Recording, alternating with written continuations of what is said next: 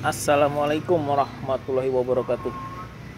Jumpa lagi teman-teman dengan kami channel youtube Kebun Zuhdan Sudah agak lama ya kita nggak review kristal putih yang kita tanam di tanah teman-teman. Ada dua buah ya. Maksudnya buahnya sudah ada dua. Dan seberapa ini teman? Sebola bekel. Sebola bekel sengaja kita bungkus. Dan di area sana kita lihat seberapa nggak ada. Oh ada. Sebuah bekel juga ini teman-teman. Uh, kalau teman-teman mau lihat tuh pendek banget teman-teman. Oh, segitu aja. Batangnya sekitar 40 50 sentian ya. Uh, sejempol eh, tangan saya lah. Dan kita tanam di tanah ya. Nanti rencana ya kalau diizinkan sebagai indukan ini teman-teman. Uh, sebagai indukan. Dan ini sambil kita buangin uh, daunnya ya ranting susu tunas air agar perkembangannya jauh lebih maksimal.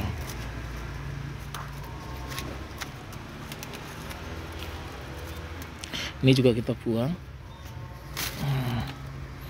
Kemudian area-area ini saya kocor air terus teman-teman saya kocor air terus mudah-mudahan subur ya karena di tanah nah, sayangnya tidak ada musim belum musim penghujan ya teman-teman ya.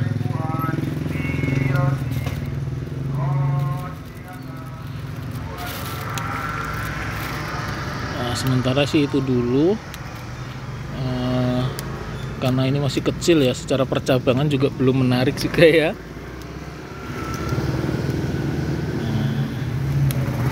keren sih menurut saya ini teman-teman. Dan belum kuat masih goyang-goyang karena memang baru beberapa bulan. Tiga bulanan sepertinya ya.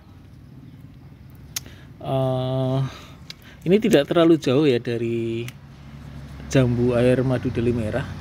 Jaraknya paling hanya berapa ini ya? 60 70-an lah. Nggak ada nggak nyampe satu meter teman-teman karena kita memang nggak punya lahan ya ini fasum jadi ya nanti kalau misalkan mau dipakai ya kita bongkar gitu aja ya. Hmm. kemudian nggak ada perawatan khusus sih paling penambahan pupuk. Well, tiap pagi saya kocor air saya bantu air aja sih meskipun di tanah ya. Jadi biar uh, pertumbuhannya lebih cepat aja. Nah dari ini kan kita lihat biasanya ada banyak ranting teman. Satu dua tiga empat. Ada empat ranting. Nah, kemudian dua ranting ya satu ranting agak besar satu ranting cukup lah. Ya, kalau yang ini kecil-kecil. Jadi empat ranting itu nanti harapannya uh, muncul tunas-tunas baru ranting-ranting baru gitu. Nah kan pasti dari satu ranting ini kan sudah muncul ranting lagi ranting lagi ranting lagi ranting udah beranting-ranting teman-teman. Udah beranting-ranting. Harapannya sih ini mudah-mudahan cepat besar ya meskipun uh, sedikit di bawah jambu air madu deli hijau eh, madu deli merah tapi harapannya mudah-mudahan lebih maksimal lagi sih. Lebih maksimal lagi pertumbuhannya gitu. Nah, oke. Okay. perlu pengecekan ya teman-teman karena uh, kutu putih. Nah itu juga agak agak agak repot juga. Nah, asik sih ya kristal putih. Memang kalau punya lahan cakep banget ini teman-teman untuk ditanam di tanah ya. Sayangnya saya nggak punya lahan di sini ya. Nggak punya tanah. Jadi paling ini hanya sebatas untuk ya iseng-iseng lah nanam tanahnya ya. Kalau sewaktu-waktu tanahnya dipakai kita bongkar gitu aja sih.